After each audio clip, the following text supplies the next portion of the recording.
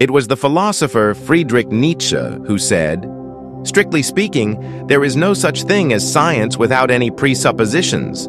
So, what is a presupposition, you may ask? Well, a presupposition is simply presupposing something in advance. In essence, a presupposition signifies something that one takes for granted ahead of time.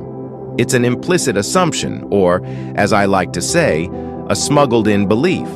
Now, some would have you believe that science is all about facts and evidence, all about what's empirically measurable and provable. These same people would want you to think that scientific inquiry is free from smuggled-in assumptions and prior beliefs.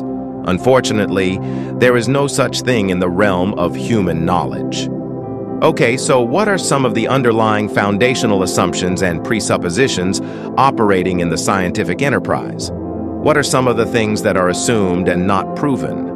What are some of the beliefs that are smuggled in? To begin with, scientists use logical and mathematical principles to understand science, providing a rational foundation for their work, yet these principles go unexplained and unaccounted for.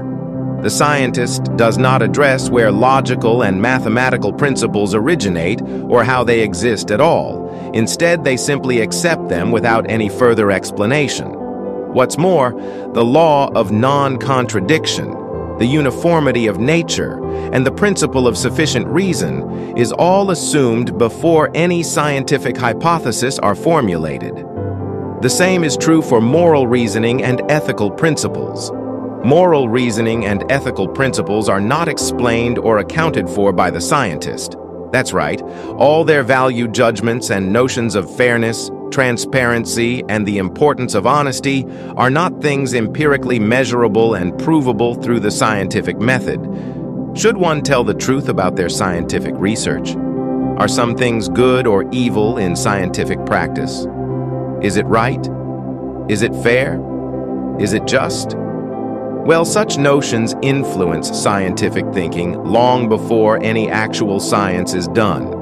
So I'll end by saying that it needs to be highlighted that all these things, and many more, are presuppositions that are smuggled into science and not explained. In fact, these are all presuppositions that make science possible in the first place. Said another way, the scientific enterprise would not exist without them. I'm Paul Ross, and thanks for listening.